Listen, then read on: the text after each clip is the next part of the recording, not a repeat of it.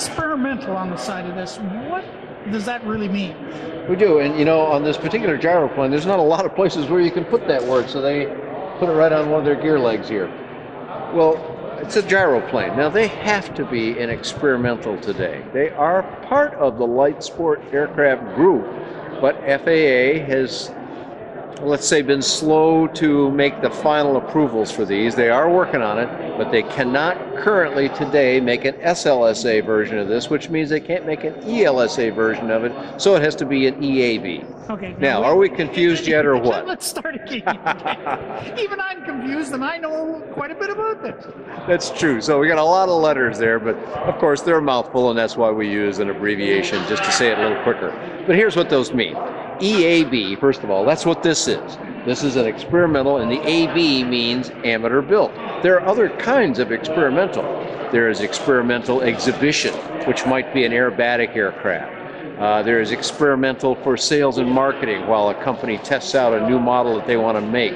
So there are some other categories, but overwhelmingly, when people think experimental, this is what they mean. Something that the owner himself built and under the conventional rules for EAB or experimental amateur built, the owner must build 51% of this.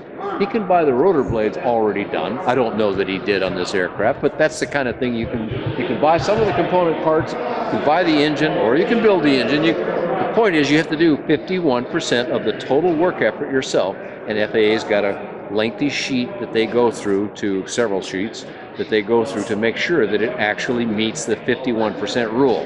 There is actually nothing called the 51% rule, it's the experimental amateur built rule, but that's the shorthand for it. Now, in that list, is there a list then of aircraft that are approved that you could go to and say, okay, I'm going to build this airplane? Or can you just basically start from scratch and build an airplane and then expect it to be in the 51% rule? Well, the, the, the whole reason why the 51% comes into play in the first place is because there are companies that make kits. And so they do some of the hard work for you. In fact, they do their very hardest parts for you. But since they're a company and can do them efficiently, in theory, it doesn't take them as much time as it would take you. So when you add the finish work and all the assembly and the rest of it, that's how you get up to 51%. As to the first question, yes, uh, I would direct everybody to go to EAA.org and or call EAA or become a member of EAA ideally, and then you can get all the information in the world from that organization about which aircraft are approved and how you go about that, and is there someone who can help you do this thing? And yes, to all of those questions, EAA's got a lot of answers about it. That's really their world. The EAA does a lot of things with experimental, experimental amateur built is their home. But then we talked about these other two things. There's another couple mouthful of letters, ELSA and SLSA. Currently, a gyroplane like this aircraft here cannot be an SLSA. We said that. But all the other aircraft out here at the Midwest LSA Expo are light sport aircraft, and overwhelmingly they are special light sport aircraft. That means that they're fully built. They're special because they're built by a factory, completely done. You're, you pay your money, you get some keys, you get your owner's manual and your pilot's operating handbook and some other stuff. You turn it on and you fly away after you've had a checkout from them.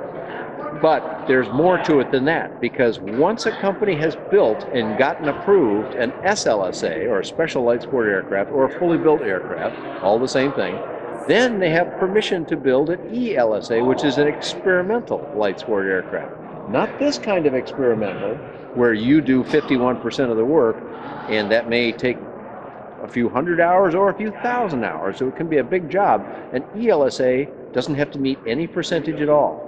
The company has to have at least one SLSA that got approved, then they can make a kit.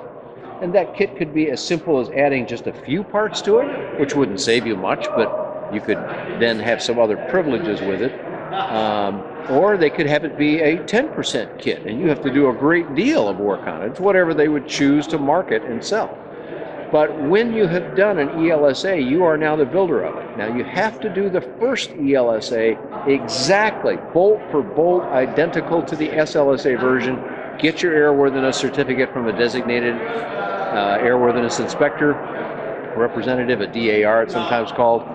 And then, having gotten that certificate, you can start making changes and you can do all kinds of things and you can do the maintenance and other stuff with training.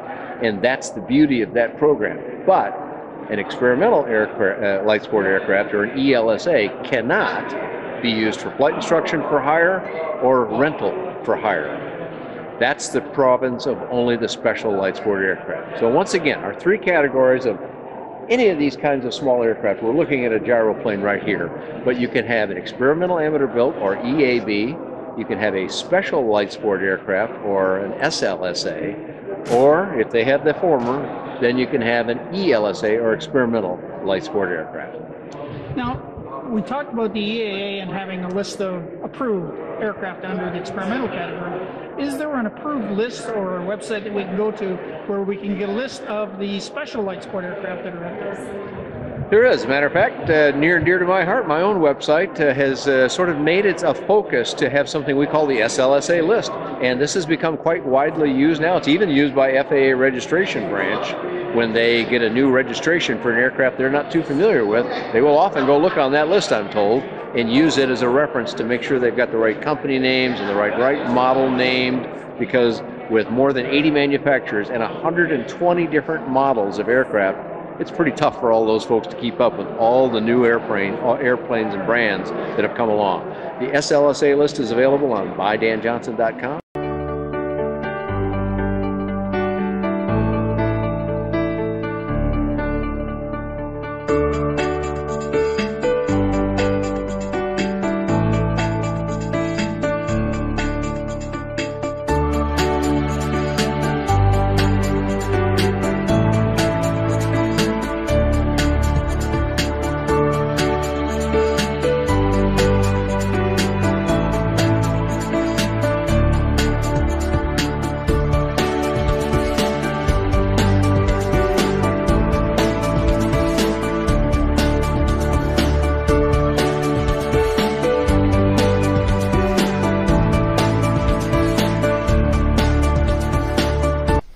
Hello, Chris Collins coming to you from the 11th annual Midwest LSA Expo. Can't believe it's been 11 years. We've done it for a decade and starting our second, but we're really excited about it.